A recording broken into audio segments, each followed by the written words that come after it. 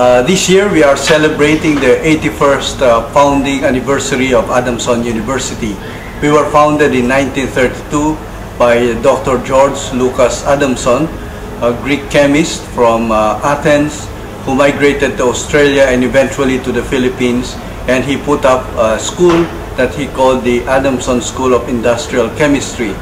In 1964, uh, the school was uh, turned over to the Vincentian Fathers who are now the administrators of the school. And uh, since then, uh, we have made this school a Catholic university, one of the top 10 universities in the Philippines and one of the best, especially in the field of engineering. We have uh, 10 different colleges, the university, and uh, we have almost uh, 15,000 students the second semester of the school year. Uh, during our foundation anniversary, we have a lot of activities going on. We started with the celebration of a Mass of Thanksgiving.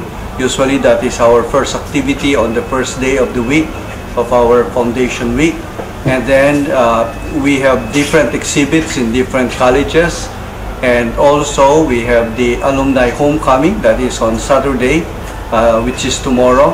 It will be preceded by a tour of our newly opened uh, Adamson Museum, uh, the Founders Wing, where you have some of the memorabilia of Dr. George Lucas Adamson and the beginnings of Adamson University. We also have our uh, institutional awards.